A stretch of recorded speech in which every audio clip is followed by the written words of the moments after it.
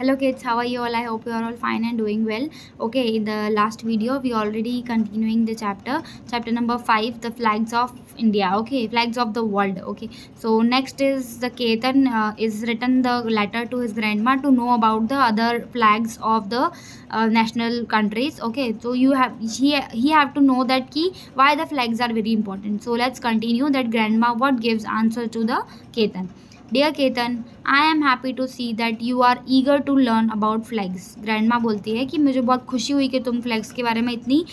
इच्छुक उत्सुकता के साथ में जानना चाहते हो I have some interesting information to share with you. The first flags were flown in the 18th century to tell the others that piece of land was belonged to someone.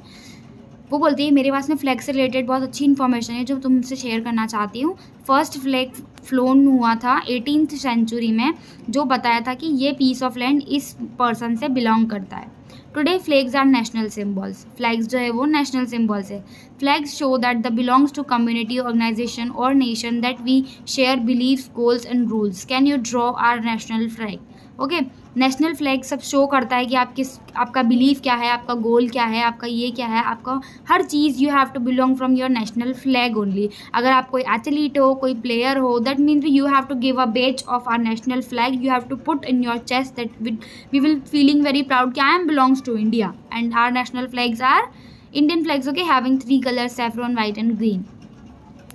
या did you draw your आपको अपना एक national flag एक रफली अपने rough copy में draw भी करना है okay all cultures use symbols which are the important to them हर एक फ्लैग में एक एक सिम्बॉल होता है that are very really important for them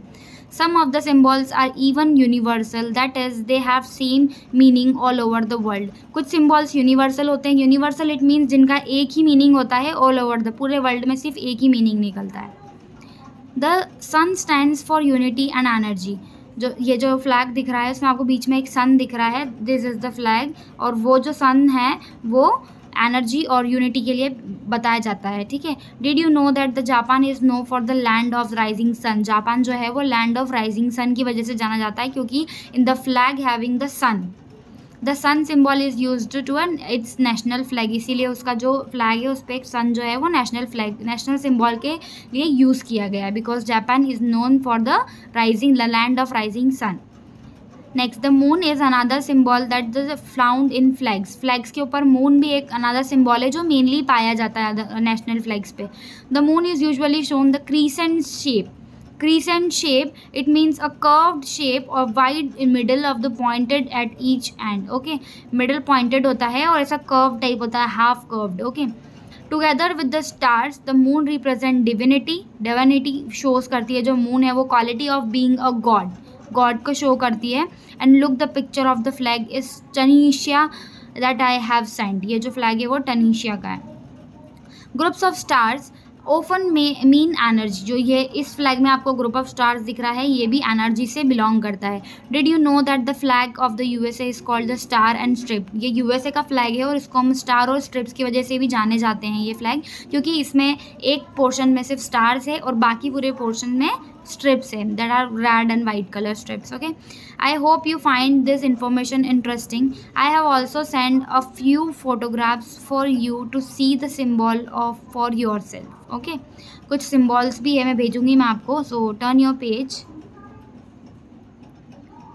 it is like